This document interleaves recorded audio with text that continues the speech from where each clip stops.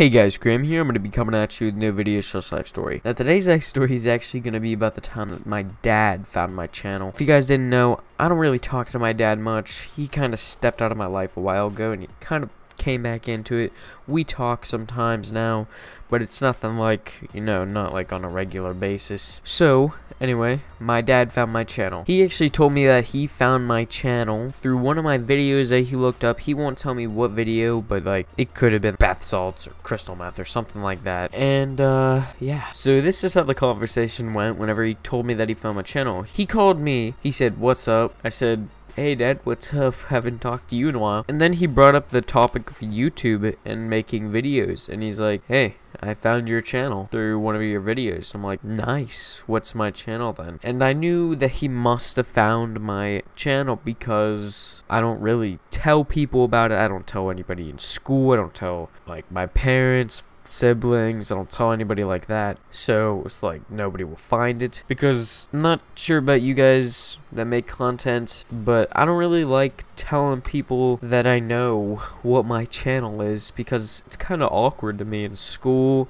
or like around them if they know what my channel is because They'll talk about it. I had a channel once before that I created three years ago, and I used to tell people about it in school, and they used to bring up my videos in school. It's like really embarrassing and shit, but like I could make like a reaction video to like reacting to old videos or something like that, considering that I've been doing YouTube for two years, and yeah, there's like I don't know how many videos are on that channel. So yeah, I could do that video if you guys want. Just drop a like. Anyway, let's get back to my dad talking about my videos. Surprisingly, he wasn't really mad about like the content that I was posting about like drugs and everything. He thought it was pretty cool. He actually asked if he could be in one of my videos and I'm like, yeah, sure. Maybe one day next time I see you, maybe like three years or something like that. And then he got like a little mad about that because like he doesn't really like me talking about how he stepped out of my life. So yeah, so now one of my parents know that I have a YouTube channel.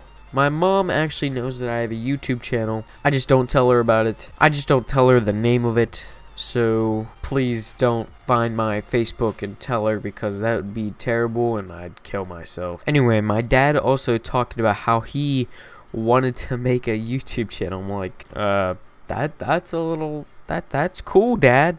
Yeah make make a channel. That'd be awesome. But what I was surprised about was he wasn't mad. He wasn't mad at the content I posted or anything like that. Like I have a video called He Did Heroin on my channel. Like that could be anything. He didn't give a shit.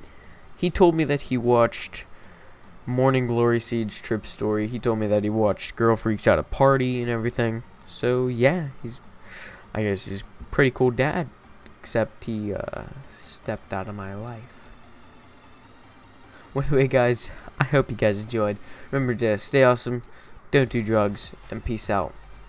Don't tell my mom about my channel.